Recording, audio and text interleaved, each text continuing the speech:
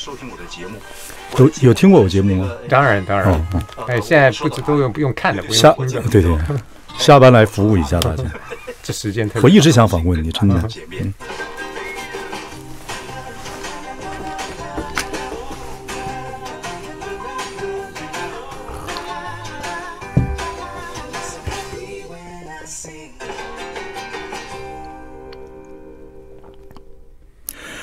大家好，我是王伟忠，欢迎收听。哎，我说到哪里了？我们开直播了，欢迎上中广流行网，还有王伟忠的脸书粉丝专业收看。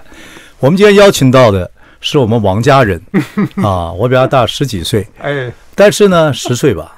但这两个王家人的发展呢，除了背景是军工教的孩子之外，个性啊、发展呢，什么都不一样。哎，然后四年级生、五年级生什么都不一样。嗯，然后呢，所以很有趣啊。然后我们做的工作呢，不管是传播啊，啊，或者以前做过媒体啊等等，一路以来又有一些接近。所以这个王文华是很值得跟我们一起来 man's talk 一下。王华你好，哎，我忠哥好，各位观众大家好，大家可以注意到我戴着口罩，我想先把口罩拿下来跟大家问候一下。夜明正身，夜明正身是王文华，很抱歉，因为我最近有点感冒，所以为了保护工作人员，我还是把口罩戴上。刚才讲说很不一样，我听你的开场就觉得不一样。你看你，我是王伟忠，声若洪钟啊我，今天也是这个过敏体质，现在鼻子不知道怎么搞的过敏，所以声音有点哑。啊以前就过敏吗？没有，我现在我因为我好几个，我可以好几个地方发音，啊，就说话的话，我还可以脑门发音，模仿很多人。我是王文华，各位好。我们连一个地方发音都不清楚，您还可以好几个地方发音，哎，厉害厉害！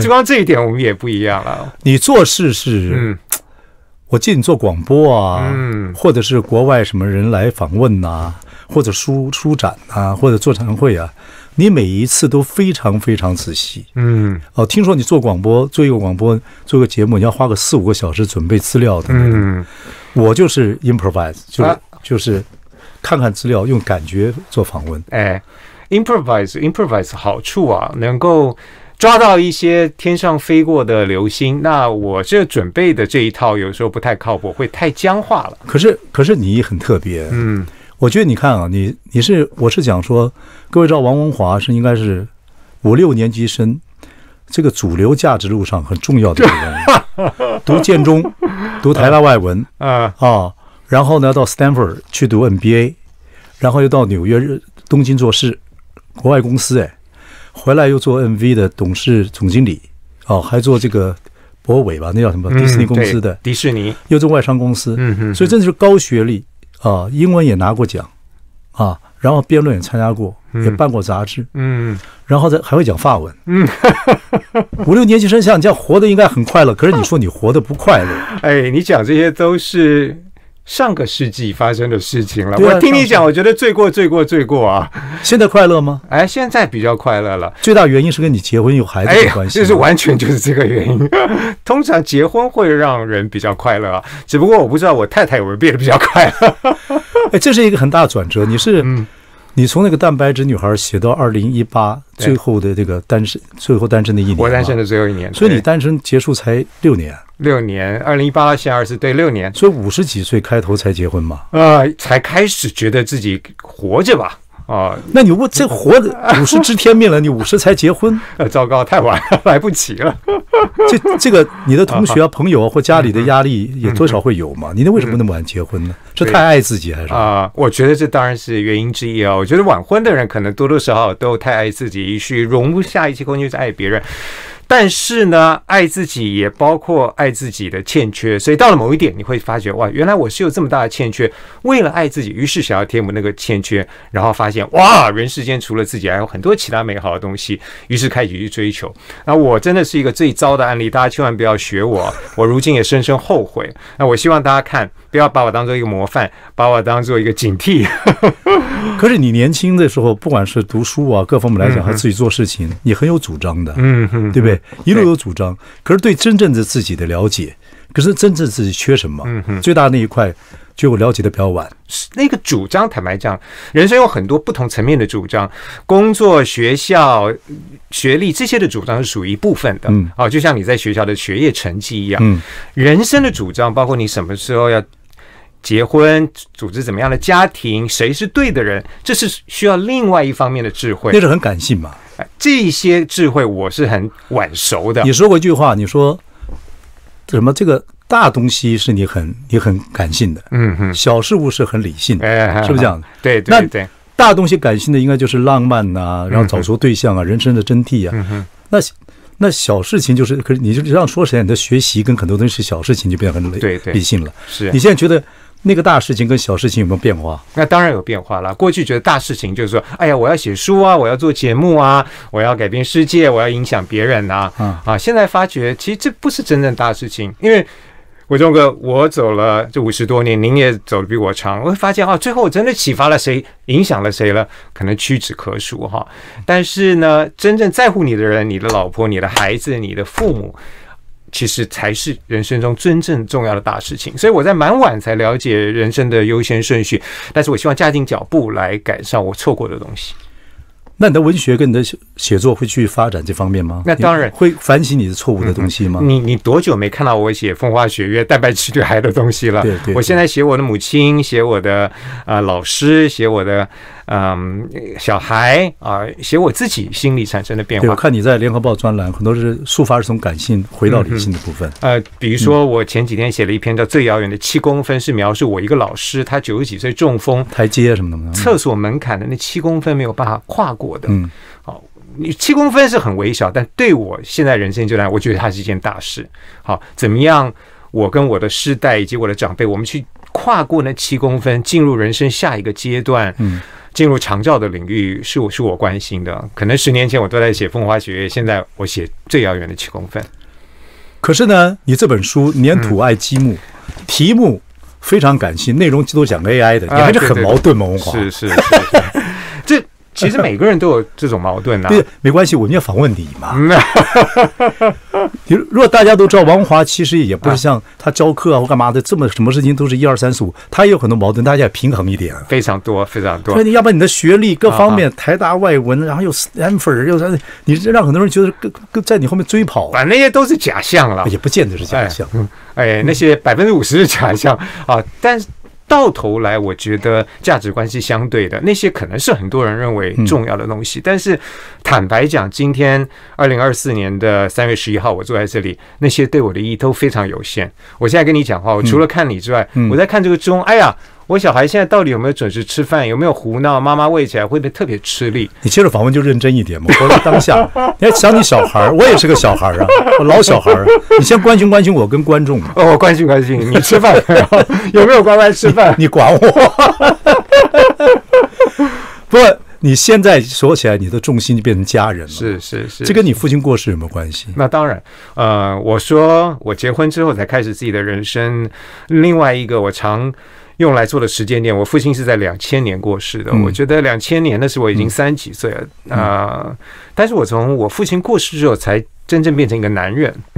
我觉得三十几岁之前的我比较像是一个男孩现在三十几岁，很看起来很年轻啊，啊，是啊，这好像不太能用时间来分。我觉得还是那个过程。父亲过世，当你生命中失去了一个你真正在乎，而且永远没有办法再获得的一个人，或是你爸爸军人嘛，对不对？对。他严不严格？他其实是非常非常开明的。OK 啊所以我从小做什么选择，包括哎呀，我高中成绩很好，可我说我要念文组啊，他就那你念文组。嗯。啊，我大学念文组之后，我说、啊、我要出国学商啊，他说你学商啊，我说哎呀糟糕，这个学费很贵，我付不起，他说没关系，我们一定会用家里所有的积蓄来支持你，嗯，所以他从来没有用一个军人的方式管教我，所以你并没有那种 patriarchy 那种父权主义下的长大嘛，对不对？嗯没有，完全没有。妈妈比较严格，啊，妈妈比较严格。我小时候在电动玩具打电动玩具，然后他就从旁边经过，他没有立刻把我拉走，他瞪了我一眼，了回去之后再打我。哦，这个跟我们成长的环境很像，就是母亲比较严，父亲反而比较松。是，啊，在这种情况之下，说你父亲走了之后，你会不会觉得少了什么温暖，或少了什么东西，嗯。或少是少了一个童话，还是怎么样啊、样？我觉得少了我自己的一部分，因为相对来讲，我的个性跟我爸是比较像的，就是比较温和的，然后呃比较柔软的，嗯，呃，等于说我完全继承了他的个性。那当他在我三十几岁初期就走了之后，我对于我三十几岁之后的人生就失去了一个楷模了。对对，跟我这部舞台剧啊，这个谢大收看，嗯，讲的差不多，就是就是你没有 role model 了嘛。那我父亲是六十岁左右，六十多岁走的。那六十岁之前，我知道他是村长啊，到处热心服务人呐、六十几岁之后，一个男人怎么过日子？嗯，我要自己跟自己学。哎，对对对，呃，当然我会去问我妈妈，呃，爸爸在我这个年纪做的是什么事，但是你你爸早婚了，那时候 早结婚了，不像你。对，就归根究底是这个结构性的原因啊。OK，嗯，不过你是一个很微妙的人。你看，你是 NBA 算是你的这个所学嘛，啊嗯嗯，嗯外文也是你的所长。那文学呢，嗯又是你的底子啊，就是你是又喜欢文学，然后你有国际观，所以你很多东西交错在一起。嗯嗯对你的思想啊，教课的时候要叫国际观，然后自己有 NBA 所学，然后还文学底子从你小时候就有，要写东西，嗯。这些东西构成来讲，嗯，对你也丰富，也负担，嗯，也有趣，是也麻烦，嗯会不会？啊，或它是一群血肉模糊的东西，我不知道该怎么定义。嗯啊、但对我来讲是非常真实的，我不太会去严格定义说我今天做的事情是商业或是文学啊、或是戏剧也好。啊、我我一直以来的热情就是说，希望我说的一些话、做的一些事、写的一些东西，能够给别人一些启发，让别人觉得哇，原来世界有这么美好的可能，原来人生还有另外一种选择。那、如果别人从我的作品中能够看出这些东西啊，我会觉得很有成就感。你说法来讲，觉得你哪一方面给别人启发最多？是你的你读书的当初 Stanford 或者你说累积的这么多国际经验啊，啊，或者是这个做气管呐、做行政是是是还是你的文学作品，还是你的感性，还是你在主持节目的时候条理分明啊，口才辩捷？我觉得以上都是，就是因为我过去有这些不同领域文学、戏剧、呃广播电视的经验，于是当我在看一件事情的时候，我能够很迅速的抓住它的精髓，嗯，然后我能用一个大部分人可以了解的方式去表达出来，让别人也立刻了解。还有三十秒，那对这些你启发别人的事情，你会很满意吗？还是很很很愉愉快吗？还是很自恋吗？还是觉得很舒服呢？啊、自恋都没有，我觉得是愉快，会满足啊、觉得自己完成了一个圈圈，让世界多了一点美好。不是自恋，有没有一点？现在没有了，五十岁之前也许有吧。好，休息了，马上回来。可爱，呃，会的东西太多。所以你看，我们在广告的时候，这个影片仍然继续在录啊、对对对对对，现在就是这样。嗯哼，会的东西太多，会不会太复太太麻烦？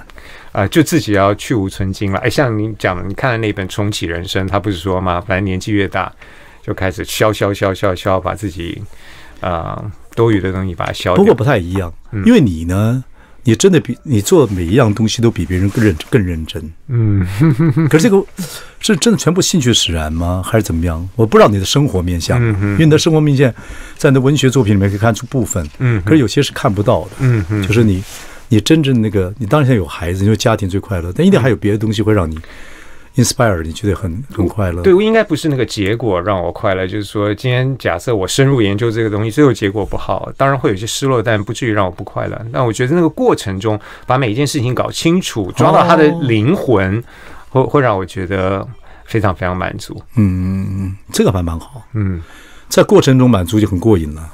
因为你是不会永远不会亏本的生意嘛，对对对你就走过那个过程。结果不重要嘛？是是嗯，结果当然也重要，因为结果要做得好，才不愧荷包，不愧跟你一起做这些事情的人嗯啊。但是哦，责这个任有时候没办法控制，嗯能够控制的就是在过程之中，嗯呃，嗯你永远百分之百，然后把心跟灵放进去。嗯，所以你分不清楚哪一个这几项里面哪一个是最喜欢的吧？我把它融合在，对我来讲没有好几项，对我来讲就这一项。那别人就是就是王文华的会的学问，或者就是这些东西，那别人提供给大家的提供给大家的服务是这些。对对，我能够呃带着大家在这个混乱巨变的世界中找出一些条理，然后啊、用一些方法继续往下走。蛮好，这个我觉得台湾有你这样的人蛮好，帮我们整理很多东西嘛。真的，真的，真的，真的，真的，真的，有些服务业，嗯服务业啊、这个是一种服务业，完全是一种服务业。我也是，我们都像我也是做服务业，我娱乐业也是服务业啊。对，我是给大家看看有什么好玩的东西。从当年我们做台北好好玩到现在 二十多年始终如一。台北台北之音的时候，对呀，你不记得吗？记记，当然。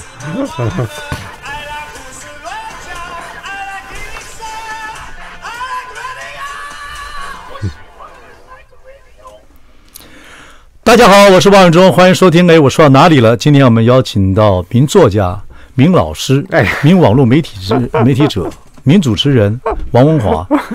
王文华是五六年级生里面主流价值路上留学，书读得好，呃，外商公司等等的发展。但那段时间他说他不快乐。嗯，经过这么多岁月，五十几岁了，结婚，嗯，有孩子，嗯，又重新体会自己的人生。嗯，他这个说五十知天命，嗯啊，慢慢了解。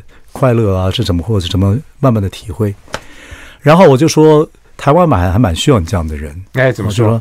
你有很多底子嘛，什么不管是 NBA 底子、外文的底子、文学的底子、国际观底子，你上课做网络媒体来服务大家。嗯啊，很多人大家烦的话就听看王华怎么讲。哎，的确啊，我觉得我这。服务业做的蛮开心的，对，自己可以养活自己，对不对？也可以跟也可以别人跟别人合作，嗯哼。所以很多人说你也写专栏，很多人会请教你一些问题，等等等等，对不对？所以这个就是你最大的成就。然后在别人请教你的过程中，你会发觉自己跟别人，特别是年轻世代的人不同的观点啊，他们的观点会刺激你做一些新的想法。所以不止在领域方面，我觉得我是大杂烩。我觉得在世代方面，就是五十岁的观点、四十岁的观点、三十岁的观点，哎，我也把它混在一起。嗯，啊，所以你说我到底在做什么？有时候讲不清楚哈。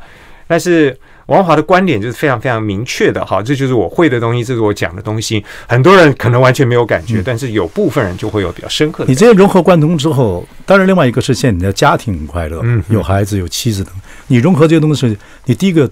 第一个观众或听众会不会是你老婆？我的老婆是我最严格的观众啊，呃，听众啊，她对把这本书批评的一文不值，所以让我出版的时间延迟了一年。这本书呢，王华想服务的是 AI 啊，AI 时代人类如何胜出？叫粘土爱积木，哎啊，呃，为什么叫粘土爱积木呢？我觉得你现在就是把理性跟感情放在一起，嗯哼，啊，所以跟。这个名字跟是这个书里面讲的都是 AI 的东西，是是是，叫年土爱积木是跟你孩子有关啊，有关呃，有一天他几岁？五六？他几岁？四五岁？他喜欢玩，不喜欢收收的孩子都这样啊。有时候我哄他睡完了之后，我自己才跑出来帮他收东西。嗯啊，收东西累了，我就自己自己收收睡着了。发现哎，背上怎么卡两样东西？拿出来，哎呦，一个粘土，一个硬掉的积木。然后我突然恍然到，就像我忠哥刚才讲的，这。完全是理性与感性的象征哈，粘土是什么？像 AI 这些东西，它是经过网络上大量数据训练出来的，所以它就像乐高粘土一样，一个一个可以有固定形状堆叠起来。对对对对，它可以堆叠的很漂亮，但它毕竟是由固定形状堆叠的。人是粘土捏的，你看王伟松捏出了一个不一样的人生。好，没有任何人可以跟他一样，他还在持续的捏。所以当下我想到，在 AI 时代，人应该怎么走呢？就是粘土爱积木。我很惨，我都是捏出来的，我没有积木，我我我没有我没有积木在里面。你们这代比较好，而且你有努力，所以积木跟粘土都混在里面。哎，那那更好啊，看不出来才好。啊如果粘土积木都看得出来，像我这样的啊，那道性太低了。哦，有意思。哦，粘土爱积木是这个道理，是用粘土来形容人的。原始创作，原始是是积木等于是 AI，现在 artificial 对对对对对对，它是堆叠出来的，堆叠出来的。嗯哼。那我觉得你这本书的祈求是希望大家对 AI 最起码哦不要排斥，也而且要跟他学习，因为这个时代就到了，就是爱嘛。对，我看那个什么，我看那个日本岸田首相他们就成立一个 AI 国家战略 AI 国家战略团队。哦，还有这个东西？对对对对，这我不知道。我我这边有个。有一个照片啊，就是一个简报的照片。我觉得人人家就是说，因为你也知道，你看，你知道，也也知道，日本当年做要做半导体被美国压抑嘛，是是。所以现在日本很多企业，它很多的 AI 东西是可以外包，嗯，给别人做的，嗯嗯啊，外包给别人做的。像它最大的第二个最大的公司 KDDI，嗯，它很多东西就是外包给台台湾的 KK Company 去做，嗯嗯等等。这个就对啊，国家来讲，他他他才急着要赶快成立成立这个 AI 国家这个团队啊。对，台湾就是数位发展部嘛，对。可是 AI 国家战略团队，你听起来它就是要朝那边发展，所以 AI 以后未来有多重要，嗯嗯，等等等等，不止在国家层，在个人的层次也一样重要。对啊，对啊，对啊，对啊，我也相信啊。比如说，我们现在讲说有部电影叫做《周处除三害》，嗯啊，我就打进 AI，嗯，说为什么周处除三害？嗯这部电影台湾哦阮经天拍的啊，为什么在大陆会红啊？他的解释是。因为中国的观众可能会对历史题材比较有兴趣，这个这个积木就错了嘛？是是是，他就没有粘土。而周楚楚商还是借一个那个古时候的一个寓言故事，嗯，来做现在的一个所谓的。真心的电影这样子，所以这就是人要去爱 AI 的原因，就是爱不代表你完全接受它的一切，但你要熟悉它运作的方式。然后当你发现它错的时候，你要能够修正，然后同时庆幸自己有一些 AI 所没有的能力，嗯，比如说人性独特的一些感情，或是创新，或是判断。等等的，所以这本书写的就是说，在 AI 时代怎么样？我们在拥抱 AI 之后呢，去弥补 AI 目前仍然搞错、仍然不足的地方。对，讲一个大家听众朋友比较了解的，就是说，比如说我们在写剧本好，哎，来。啊，写一个剧本，呃，什么爱情电爱情剧本，我们把几个元元素丢进去，让 AI 来处理。比如说，呃，男女，或者是然后有父母，然后有宠物，然后有外星人，嗯。啊，然后有冰淇淋，然后有狗。有有有王文华，呃，有有什么什么，砰丢进去，他自己会拉出一条故事线来。对，可是这个东西就算出来了，如果没有个人情怀进去，他可能还是不好看。没错，没有创作者情怀进去。事实上，我做了一个实验，我把我写过的一篇文章讲我妈的，叫做《三件九十九元》，丢到 AI 里面，请他帮我编辑。嗯，好，那这篇文章是讲说我妈很省啊，喜欢买三件九十九块的东西。嗯。然后他帮我编出来，结果我两者对照一看，啊，我真庆幸我身为人，AI 会把你文章改成怎么样呢？你还在烦恼母亲节要送你什么礼物吗？让我告诉你有以下的建议，它中规中矩，它绝对不会出错。对，但是我原来写的是说，啊，妈妈常常帮我倒垃圾，我的垃圾和我的理想都被他从垃圾桶中捡了回来。嗯嗯嗯。但 AI 没有办法了解这些比喻，没有办法了解个人情怀。嗯。AI 非常在资讯的层面上能做得很好，但是它在感情的层面上现在还非常的稚嫩。这就是人类的机会。置入之后，以后他就知道懂得王文华的东西了。嗯，他以后就是请，你可以这样打，请用王名作家王文华的口气形容三件东西多少钱的妈妈购物行为。没错，他他很快就会这样，他很快就会比我老婆还了解我。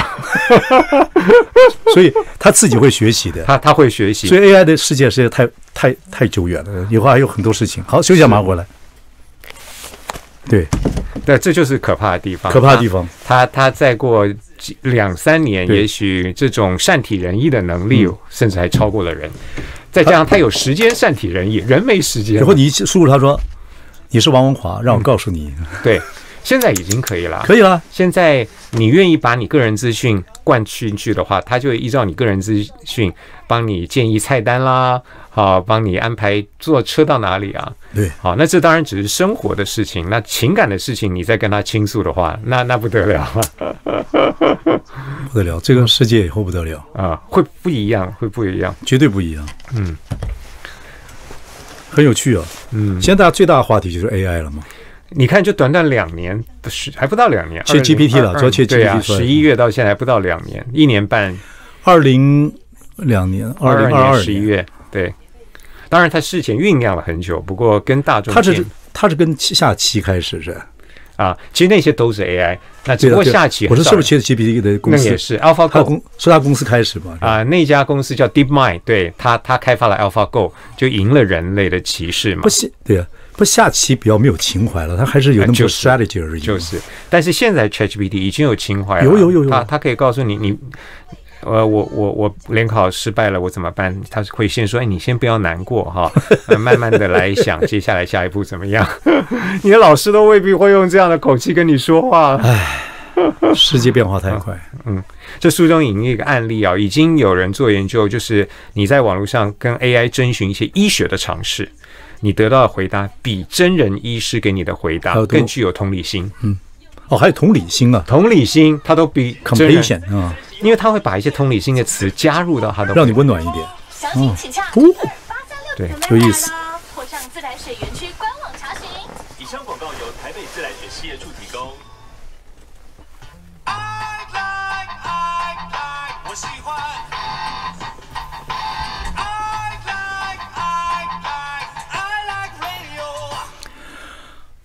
大家好，我是王永忠，欢迎收听。哎，我说到哪里了？我们邀请到名作家 啊、名网络媒体者啊，很多人都是王王华。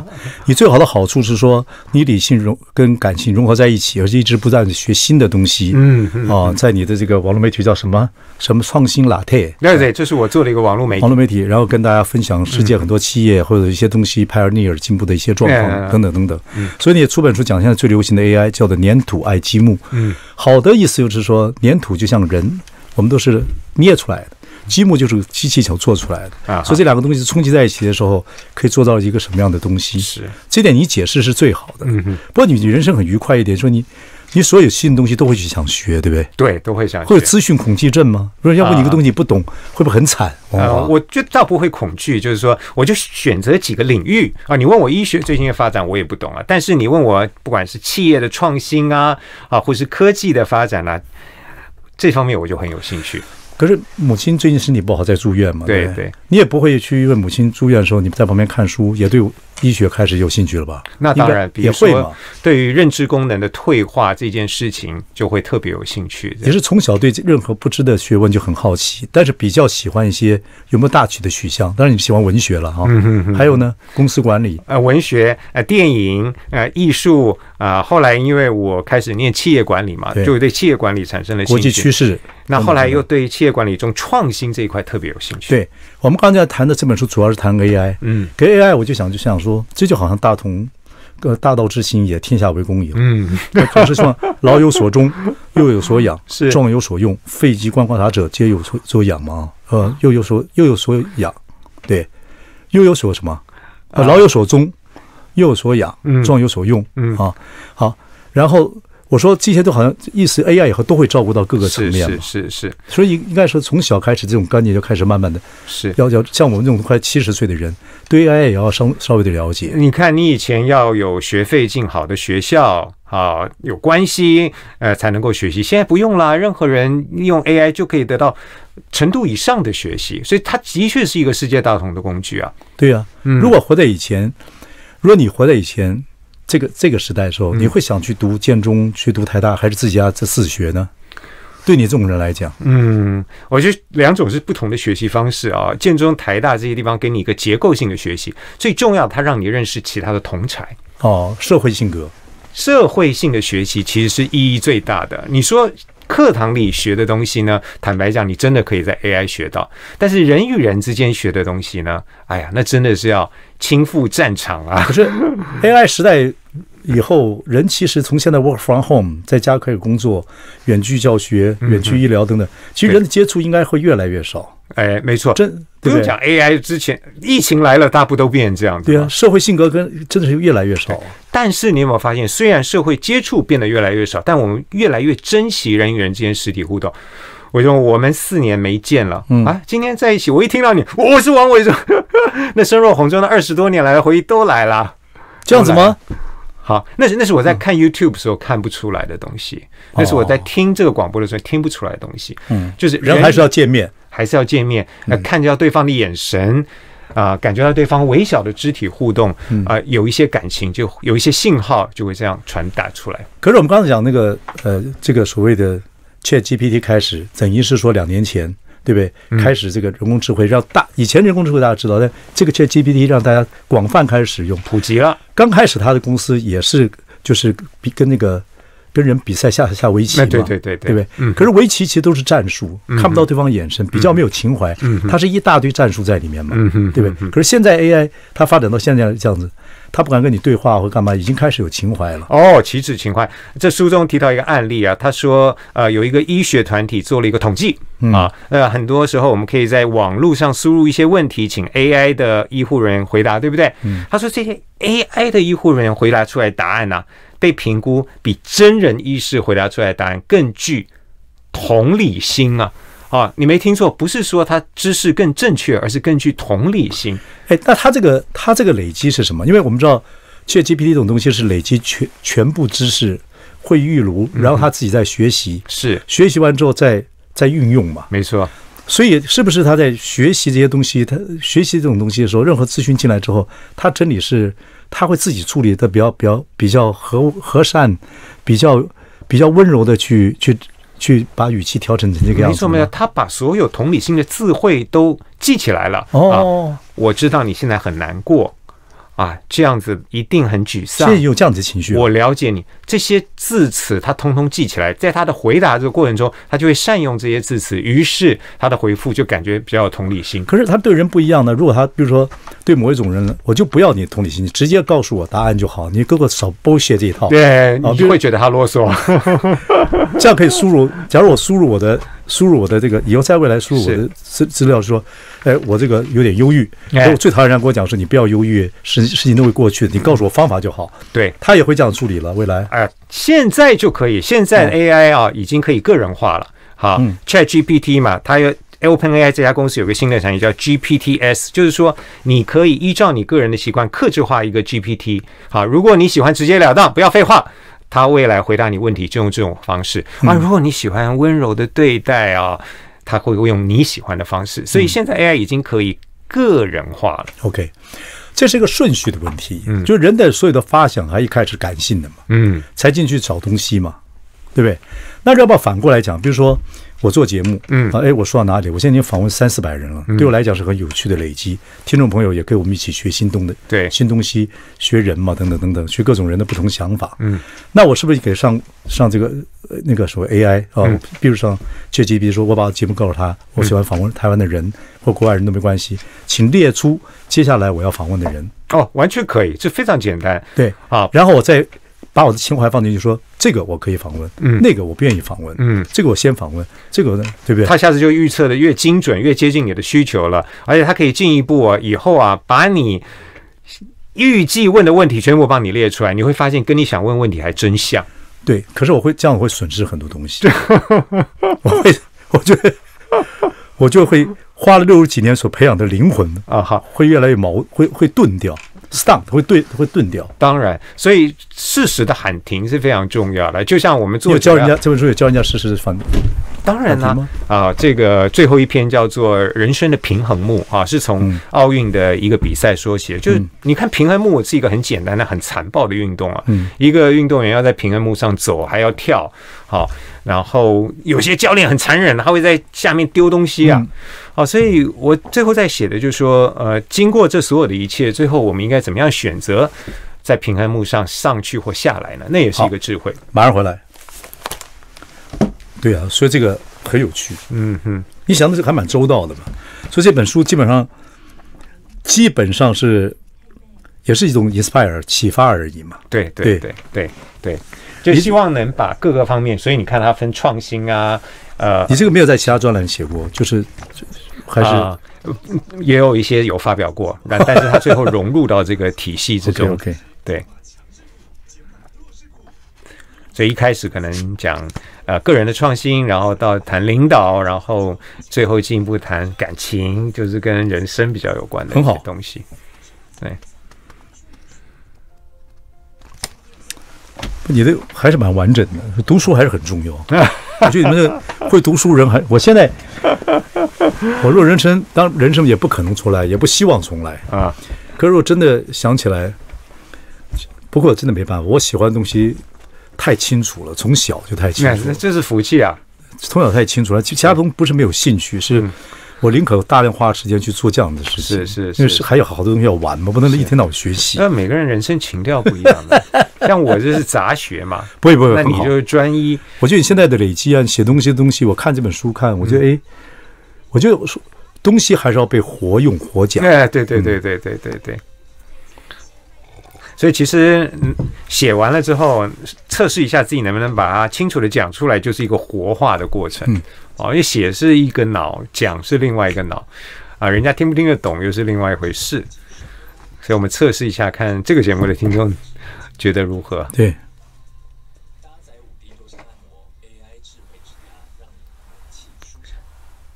所以他呃一边录一边讲，所以在广告的时候，YouTube 观众看到基本上就是就我们两个休息的状态。就尬聊的时间，啊，尬聊时间。不蛮好的了，就是访访问点人啊，回忆点事情啊，想点，我都在做访问中想事情，想的这个你们的脑袋瓜里面想什么东西？那么多人做这个，刺激很多的。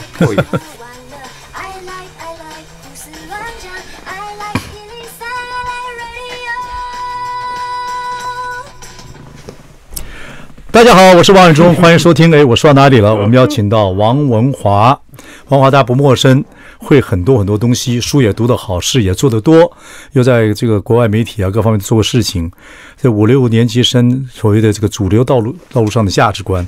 可是现在呢，有孩子有妻子啊，然后呢，呃，还是致力在学任何的东西，还开了一个网络媒体啊。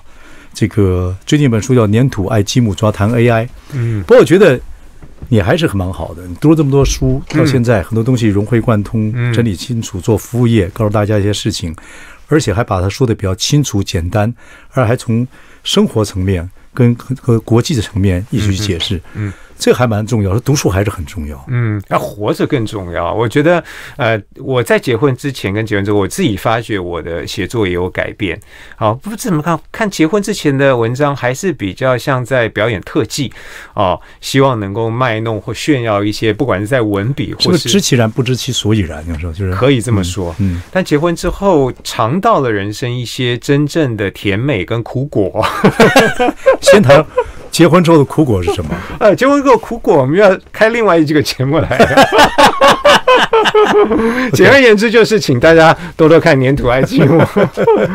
尝到了一些人生的甜蜜跟苦果之后，我觉得那个文字会落地了，更踏实了。嗯然后在地上挖的更深了。嗯嗯啊嗯嗯嗯呃，所以我我觉得人生对于写作是很重要的，活得越深就写得越深。对啊，对啊，看你的东西，现在真是看你一路以来啊，一路来的变化。像我就看的比较多，知道你大概的相对性的体会。嗯如果说你到了一个阶段开始，真的是，我觉得还是蛮重要的。尤其你现在接触这么多东西啊，所以你整个在学，你认为你的学习过程是最快乐的。嗯嗯看到一个新的东西出来之后，然后你慢慢去学习它，然后再把这个东西提供出来给给给给反刍之后，再给观众啊、嗯给听众啊，这样的这个过程是非常重要。你每天都在做这个事情嘛？哦，对，孩子这届主题大概是我学习过程中呃少有的挫败。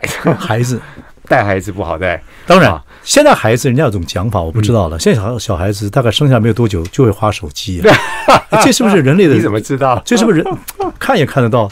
哎这是不是人类什么 DNA 的残残存记忆还是怎么样？哎，这就是贾博士厉害的地方啊！嗯啊，从人类学的角度触及到人类的本能。嗯啊，当然，这除了手机之外，包括这世界变得很复杂，也是原因之一啊。嗯他们在学校接触到的同才啊，嗯。甚至四五岁就可能会碰到一些霸凌的语言跟行为，嗯。啊，都让做家长有新的挑战。那这些是从小到大没有人教过我们的，所以我们就是进三步退五步的在学习。嗯，呃，这难度是比我以前学任何其他东西都要高的，对啊，你现在等于你的孩子等于是外星人嘛，对不对？完全是。跟对我对你来讲，啊哈，你跟他差五十岁左右的话，他已经在未来他就是外星人，他们以后一定是太空旅行啊，他们一定是各种面对状况，跟我们大概没什么经验可以传授，嗯哼哼，对，这个是太晚结婚另外一个坏处，就是你跟你孩子的年纪差距越来越广哈，你必须要加倍努力，才能略微拉到他们世界的尾巴，以至于跟他们有一些共鸣。你放心了，你绝对看他长长大，那没有问题。嗯可有个问题，其实 AI 世界对中老年人来讲，现在不是那么友善。嗯哼，哦，这是我们所碰到的问题了。现在我相信听众朋友中听我广播的也有些中老年人，包括甚至青年人，有些 AI 对他也不是很友善，会排斥，对会害怕。但是我觉得要好好用它，嗯就让我们写文章或做事情，先问问他嘛，就发觉他不必那不见得比你聪明或怎么样，但是他提供一些基本知识，对。对不对？呃，AI 是有门道哈，它提供你的基本知识，但是人才有味道。哦人在，基本知识上，好厉害啊！我就想办法去了解 AI 跟人的差别，所以 AI 有人那个门道，人有味道哈。AI 懂得表达意义，好人懂得表达诗意，好，嗯嗯这这是它它是有差别的。所以我觉得，不管是年轻人或中老年人啊，看穿了 AI 的本质，然后挖掘自己的优势，嗯哦，还还是可以借由 AI 活出一个美好的生活。人家形容王华就说你做事情的理论基础啊，条理分明啊，然后层层堆叠啊，结论都很完整啊。嗯哼可是我觉得在未来，我觉得在未来，你现在讲这个东西，可能对 AI 来讲，你现在把这个输入进去，他可能讲说你侮辱我，你怎么知道我的未来会怎么样？你怎么会知道我以后没有？这没有人知道，这就是活着有趣的地方啊！我我羡慕你的工作，你看每天能跟这么多人去探讨这未来世界可能性，多哎呀，我我我是我懂得很少，所以呢也会经常呃念白字说白话，但不重要。我觉得你们都比较厉害，请你们来跟大家聊聊天，对 对，这这这是很好的，能够请到你们这样的人等等。我不应该算是 AI，我应该算是我适合做这个事情吧，嗯倚老卖老，嗯卖老皮。光是这就不知道啊，多少人，坦白讲，我的同才很多人到现在也不知道自己适合做什么事情。哦，呃，坦白讲，就算你知道了时代的变化，也会打你一巴掌，让你必须重新思考。啊我我真的适合做这个吗？怎么我适合做的东西已经消失了呢？嗯，或者我适合做的东西，AI 现在已经比我做的更好呢？于是你又必须重新诞生，重新再去寻找一次。不过每个年代有每个年代的烦恼跟优点。嗯，我们那个时候的烦恼呢，就是资讯太少。四年级生 在在在南部嘉义破眷村，对，可它优点呢，它就是幻想力特别丰富，他就幻想台北是怎么样的地方嗯嗯啊？到台北看到中山北路车子这么多，这就是国外。就你有你有很多幻想的能力，可幻想是一个创造很多东西很重要的东西，是是本能嘛？你看幻想发生发明过火，对不对？对，可以发明很多东西，等等等等。发明是可以创造任何东西，都是从零到有的。嗯嗯这这就是我们的呃优点。不是以后小孩子，像你的孩子会失掉什么东西，你都看得到嘛？所以其实这我忧虑的一点，就是说，当资讯已经这么多，它压缩到了幻想的空间。我好奇有一天，一个完全用 AI 做出来的电视节目会是怎么样？会会像我们小时候看伟忠哥做的节目那么有趣、那么生动、那么不可预期吗？其实我会打个问号。现在编剧本其实，或者你先看 Netflix、看 OTT 平台，很多呃，不管是 Disney Plus 其实很多故事差不多。嗯嗯就是爸爸，你像你这个老爸爸，呃，生了孩子，孩子有会受欺负或霸霸凌，嗯在泰国失踪了。你以前是当兵的，哦，你当几年兵两年，啊？你两年当当了很多，比四四个月的兵好，你还有些战斗技能去救他。国防这这不是 Leon Neeson 最会演？台湾国防部，然后呃投投资的，对对所以对当一年兵比当四个月的兵能够解救你在泰国被或者在柬埔寨被关起来的女儿，等等等等等，其实都差不多，这也就是一个问题。对现在影音平台很多故事是一样的，嗯所以很多人想回去看真实故事，嗯嗯。这也是一个变化。所以，因为 AI 它就是擅长从既有的东西中去找出模型，所以你要请它编剧，你大概觉得似曾相识。嗯但是人也或者粘土的好处就是，它能够依照他自己独特人生去创造从来没有的东西。就情怀嘛，所以每个人还是在生活面上要要丰富，嗯，我觉得，活着比写作重要。刚才我就这样说。对对对对，嗯。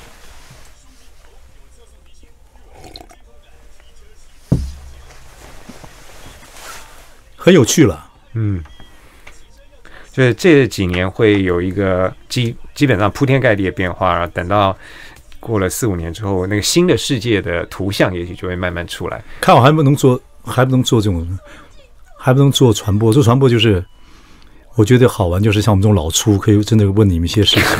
哎，真的，老粗太客气了你老老粗做传播是是好的。啊，不过你这身材越来越苗条了，会运动？有要运运动嗯是不是？要有纪律的哈。其实比较好的是重训，对重训真的哈，重训，其他我都是休闲，只有重训比较辛苦。嗯嗯，可是重训会让，因为我们这个年纪肌肉会比较对对对有型，这很重要。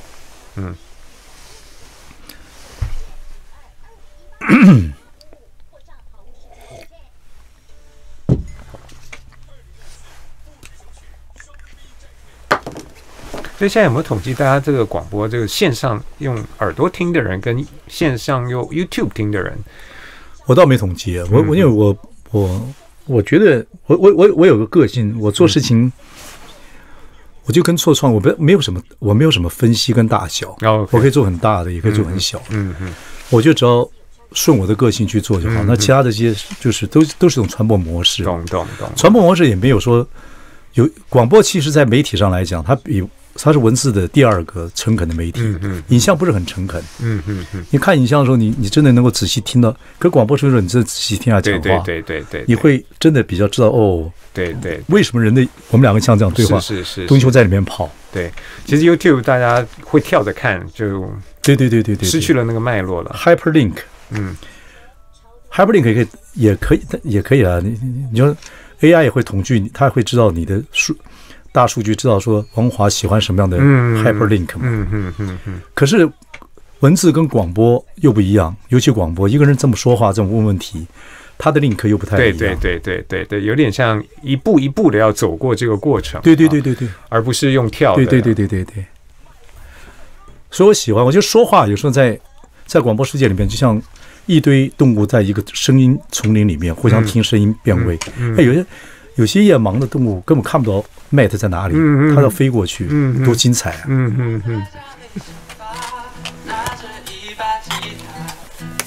最后一段准备回来喽。